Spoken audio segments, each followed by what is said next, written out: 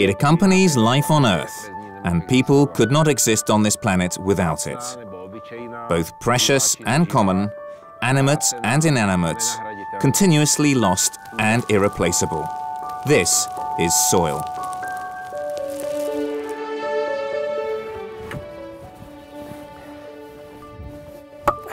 There are few things which everybody knows as intimately as soil, and yet it is far from easy to define it, and even less easy to know and understand it.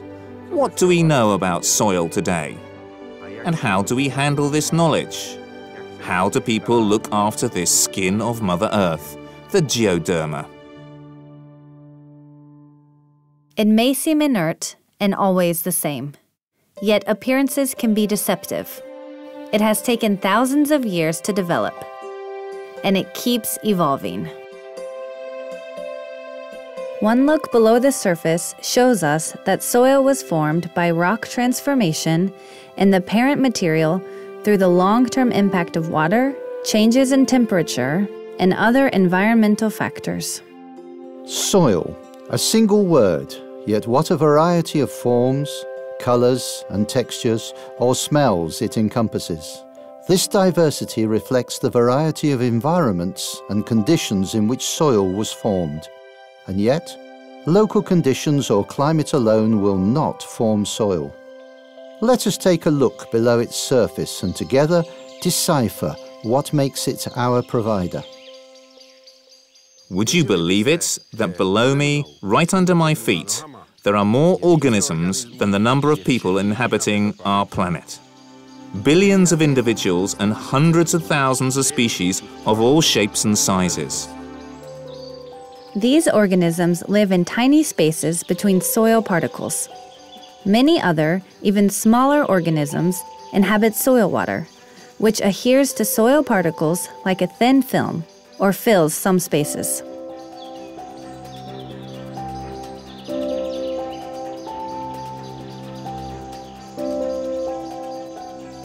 There are so many and so close to us, and yet hardly anybody has seen them properly. Life is a vital factor which helps create soil. Soil abounds with it. On the surface, immediately below it, as well as deep down, soil itself is a complex, living organ of our planet.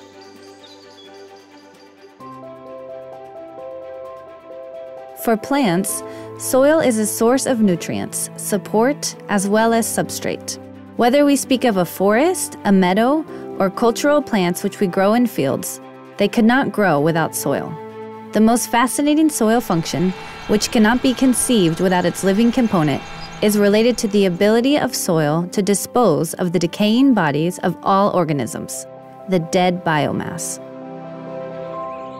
It never ceases to amaze me to see how much mass nature is capable of producing just by itself. It does not really matter whether we are in valleys or in the mountains, on slopes or on flat ground. It could be said that soil works as an automatic device for biomass production. Depending on the climate, nutrient availability, and the amount of water Nature can produce up to dozens of tons of living biomass per a single hectare. The most fertile soils in our country can be found in lowlands, in the alluvia of large rivers. No wonder that most biomass is formed there. In some places, such as the floodplain of the confluence of the Morava and Dyje rivers, one can almost get lost in the herb layer. Just look at the incredible volume of plant biomass around us.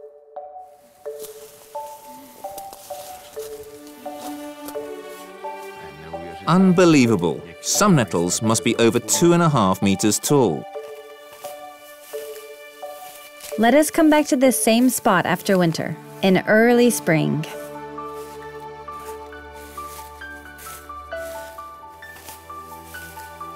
In a mere six months, a huge amount of green mass which we saw then has disappeared. Only these fragments have been left. It is visible that the organic matter is disintegrating. It is the work of numerous tiny organisms.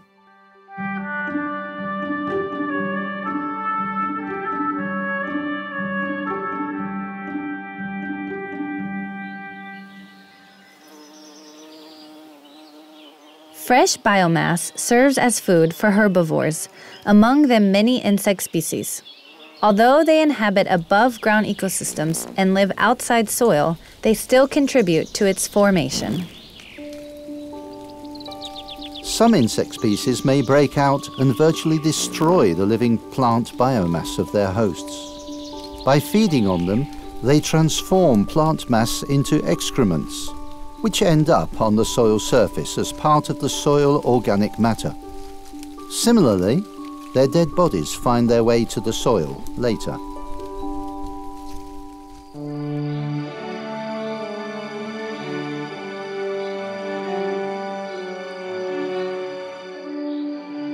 Large herbivores, both wild and bred by humans, are also important for the formation and functioning of soil.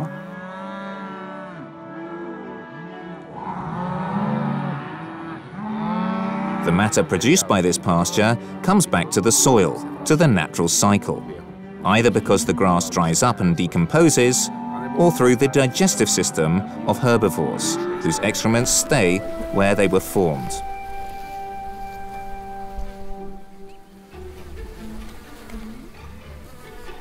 A number of insect species, for example beetles, flies and their larvae, use these excrements as a food source and thus help return organic matter back to the soil. This is a beautiful close-up of dozens of holes. It is a proof that insects do get inside. Yeah, this is a dung beetle which forms little balls from the matter and places them in underground tunnels for its larvae to feed on.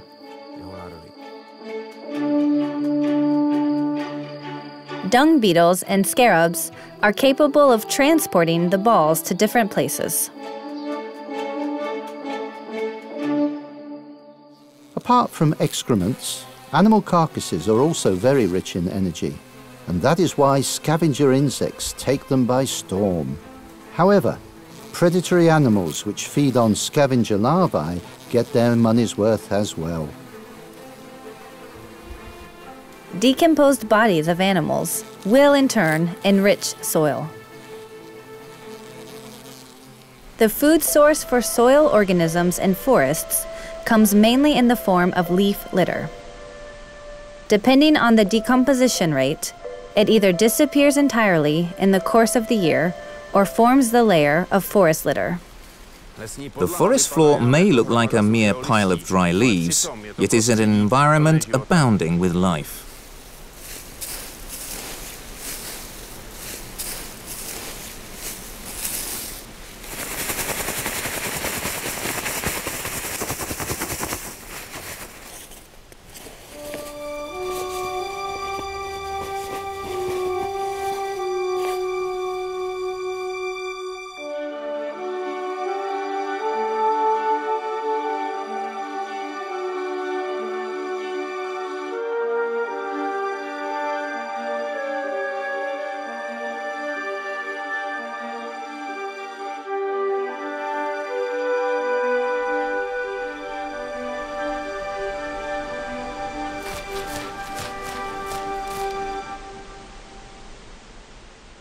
How is it possible that organic matter decomposes on the soil's surface? When we scoop a handful of soil or place a dry leaf on top of it, nothing visible happens. The soil will not bite us or eat us away, and yet decay is taking place. It is a very slow process. When we take a really close look at the soil surface, things begin to become clear. This is already decomposed. The leaves are fragmented, and the deeper we go, we reach the surface of mineral soil.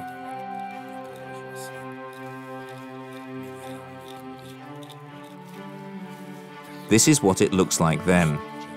These are roots.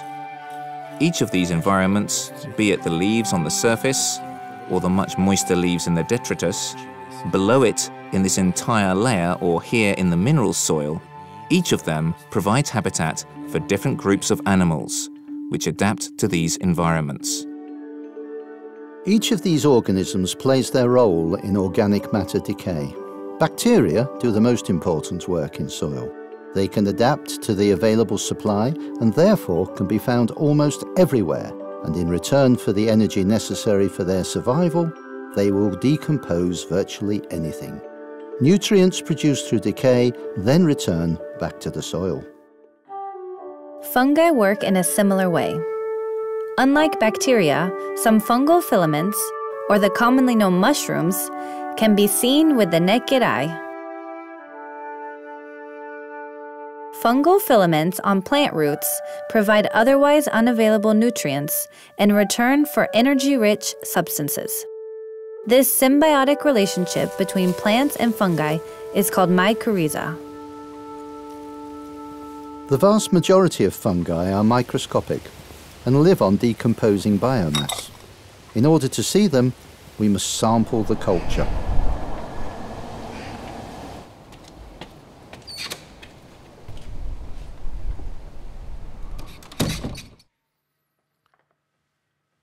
This is what has grown in the Petri dishes over the past week. These microscopic fungi do all the work in the soil. Kilometers of fungal filaments grow in the soil, and this is the way how to take a close look at them.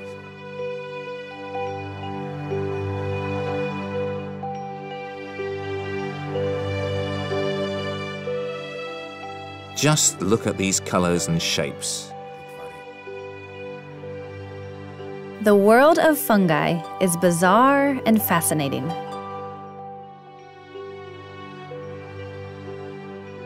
This is how their cultures grow during laboratory cultivation.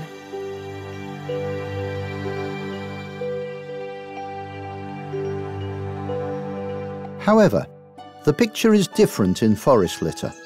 Fungal filaments appear to walk onto the fallen leaves, and in a similar manner, they grow through soil, even deep down.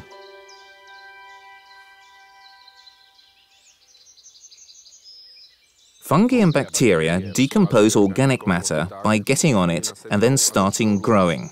The speed of decay is therefore conditioned by the size of surface which is available. Let us imagine that this block of butter represents dead organic matter, and these sweets are fungal filaments and bacteria. They gradually cover and then grow over the surface available on the organic matter.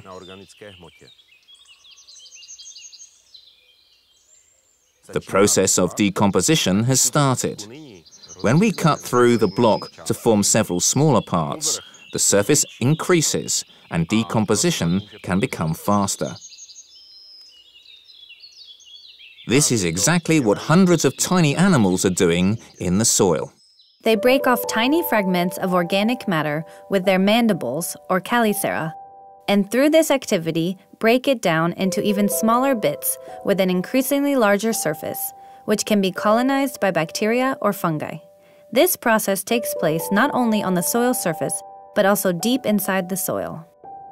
Organic matter travels down, particularly thanks to earthworm activity.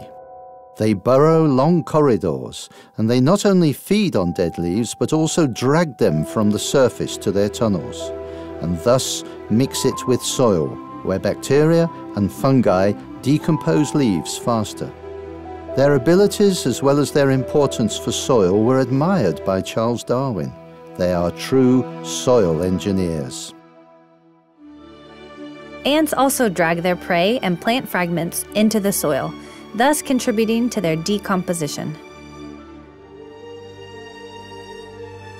Millipedes and woodlice can be seen with the naked eye. By feeding on dead biomass, they both break it down and create large amounts of lumpy droppings, which in turn become part of the soil humus and significantly enhance the formation of soil structure.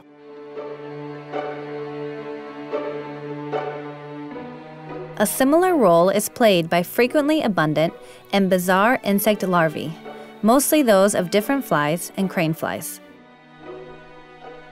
Upon reaching maturity, they leave the soil and become a part of the above ground communities.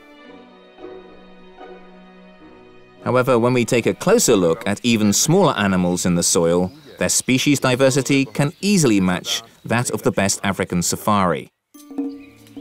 The world of soil creepy crawlies is full of creatures less than a millimeter in size.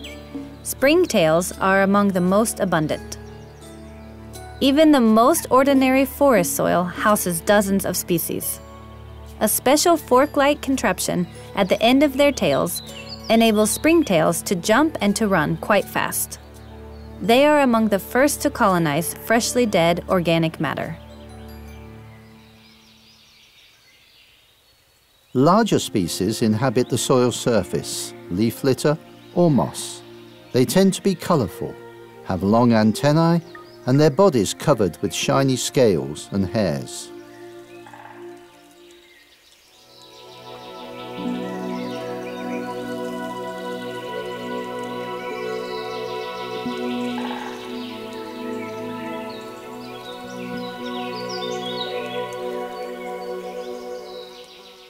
Deeper in the soil, colour doesn't make much sense, and size tends to be an obstacle.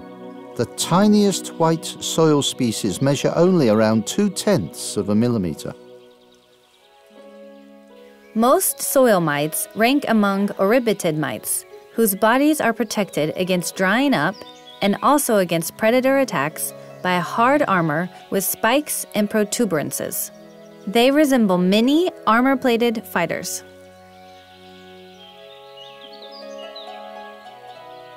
This oribatid resembles a walking lump of soil. Molts of previous instars with grains of soil glued to the back protect it from drying up and serve as a perfect disguise. A female can carry its eggs on its back to make sure that its offspring hatch in a place where she finds food. However, the lump on its back also contains fungal spores which she can use to disperse to the newly colonized detritus. She can then feast on this newly created garden.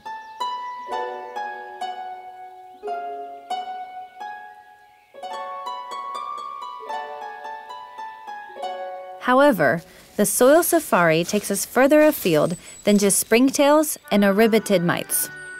Detritus and dead cell content provide food for proturans or coneheads which have no antennae and used reinforced front legs instead.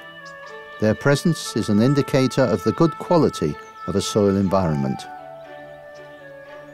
Vast diplurans with a pair of cerci on their abdomen look as if they had antennae on both ends of their bodies. The antler-like antennae of graceful, soil-dwelling blind pauropods serve as a perfect white stick which enables them to smell and taste as well. White Enchytraeids are smaller relatives of earthworms. It is not length, but body diameter, which matters when it comes to moving in soil. They are capable of moving through soil pores, just like springtails and mites.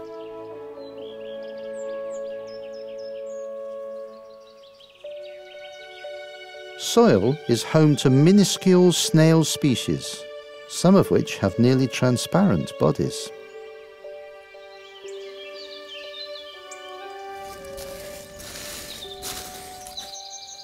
What a breathtaking world. This incredibly rich animal community is much too tempting a bite to be left alone. Just like the African savanna has its lions and cheetahs, soil has its ferocious and fast predators as well. The role of predators is to regulate the number of soil decomposers and consequently the speed of decomposition.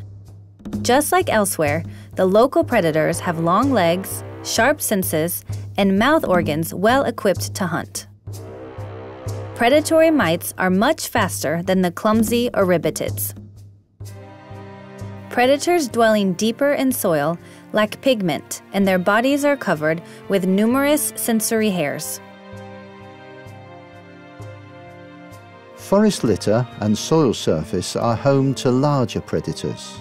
From the beetle community we can find smaller ground beetles or rove beetles with short elytra. Spiders include species which are minuscule, as well as well recognizable species which we can see with the naked eye.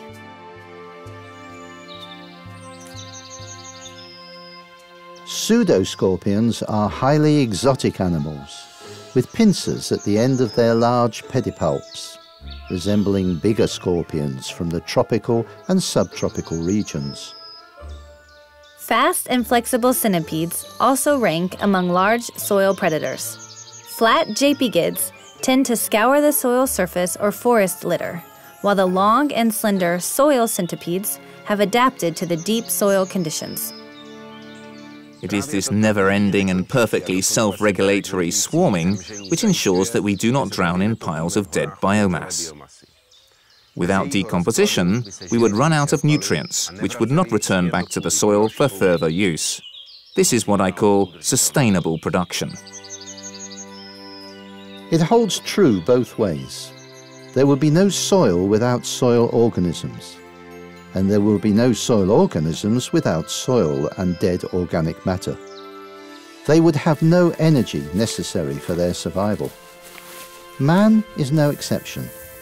We also gain energy by consuming other organisms. We replaced native plant growth with what represents the best food for us. It is hard to believe it, but detritus, such as fallen leaves, dead roots, or wood, as well as animal excrements or even carcasses, are the same delicacy to soil organisms as a crispy goose is to us. But let us go back to the field for a while. Try to put yourselves in the shoes of a soil creepy crawly, which has to work really hard in this environment to be rewarded with a juicy and energy-rich meal. People cultivate soil and fields to enhance production. However, when seen from the perspective of soil organisms, we get a different picture. First, plowing turns their houses upside down, and then they have to endure repeated rains of chemicals or inedible mineral fertilizers. Added to that, vehicles pound the soil to the point that it is virtually impenetrable. All these hardships could be outweighed by increased production of biomass, which bears the promise of lots of life-bearing energy. But people eventually collect everything and take it away. Crops from the fields as well as timber from the forests, to eat, to build from, and more and more frequently to get energy from. It's not hard to notice that biomass is missing in the fields. The tempting vision of a rich source of livelihood is shredded to pieces by us. Our best allies that have kept soil in good shape for millions of years are left to scramble for food in vain and starve. They have no other option than to run away or die. The microscopic organisms are forced to dig in the long term supplies of soil humus. But this is how soil starts feeding on itself and its structure starts collapsing.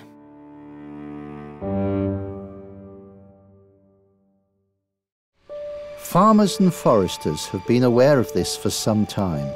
Keeping organic matter for the soil and in the soil is critical for both its quality and fertility. We know how to do it. Fertilizing by manure has been about for thousands of years. Yet, organic matter must be replenished in other ways as well, by leaving more remnants for the soil, or through the production of cash crops which are not taken away from the fields. Only then will geoderma, the skin of our planet, remain a living and life-giving structure for years to come. An old Czech proverb says, feed the cow and it will fill your stoop. The same holds true for soil. We may try to feed it this way, but it will probably not help much. We must not forget this. Organic matter is fuel for the soil, and no one, let alone soil, will drive far with an empty tank. We must not let it starve to death.